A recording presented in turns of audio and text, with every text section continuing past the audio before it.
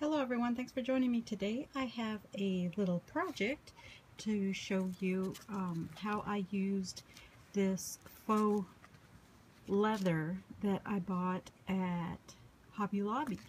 And this one is, I showed it on one of my hauls, but this one is a textured material and it's a little thick, thicker than this one.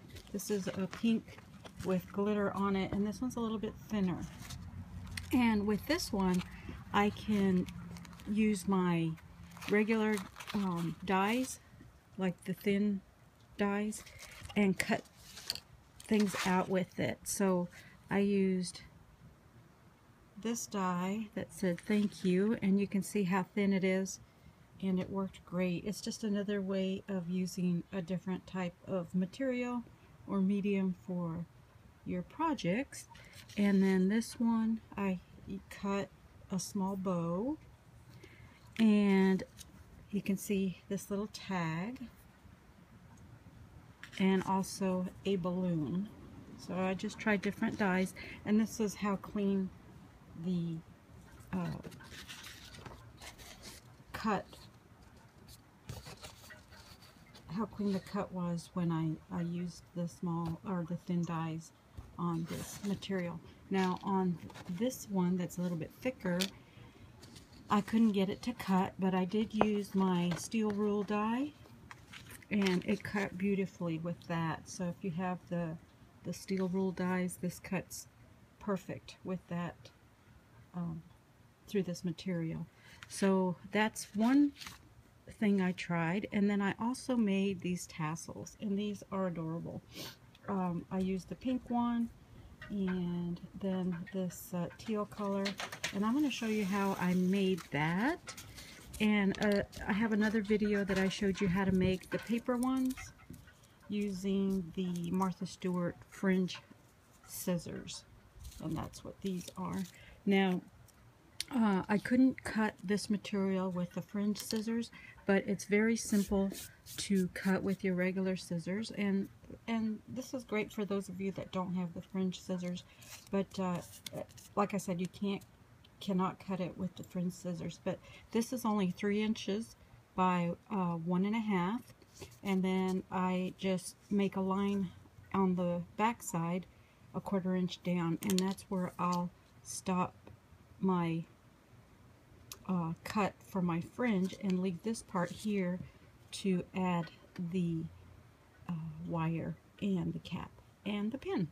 So we'll go ahead and get started. I'll just, I'm just going to go ahead and just cut small slits and you can make these whatever width you want. So I'm just going to continue on like this. And then I'll come back when I've got it all cut. Okay, now I have it all cut and I'm going to start rolling from one end and do it as tightly as you can. Start rolling it.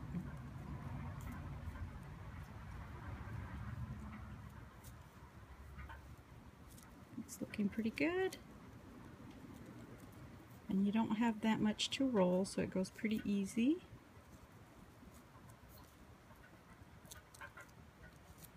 And there we are. We've got it all rolled up. And now we're going to go ahead and add our wire. And this is just floral wire that I have, and it's uh, 26 gauge. And you can get this at Michael's at the uh, floral department. And so I'm going to start with a piece coming from, well, the end facing up. And then I'm going to start winding it down here at the base and then just it's very easy to do so just try to line it up with the previous wrap and that way you get a nice solid coverage all the way around. So oops, I hope I'm in frame. And just start winding it around That's looking pretty good. And then you can always push it down to even things and get them closer together if there's a space in between the wrapping. Okay, so you just continue doing that. And I'll meet you back up when I've got it at the very top, so I'll be right back. Okay, so I'm at the very top now, and that's okay if you leave a little bit of the leather showing, and I'm going to stop right here where my extension piece began and cut that off. And then what I'm going to do is I'm going to twist these two together. And that kind of helps to hold everything in place and then I'm going to fold it over and curve it so that it misses that center starting point so we could add our uh, our eyelet which is this so I'm going to go ahead and cut the wire so that it just is inside the top of that. So when we put our bead cap, it covers everything up. So we'll go ahead and cut this down because we don't need it that long. And we'll insert that into the center. Well, first we're going to add some glossy accents to be able to seal everything. So I'm going to add a glob of glossy accent. Oops. And that's going to go right back into that center hole. If I can find it.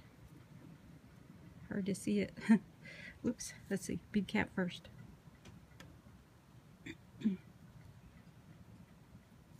And this is what's great if you want to do silver, you can do silver or gold, whatever color metal you want to use.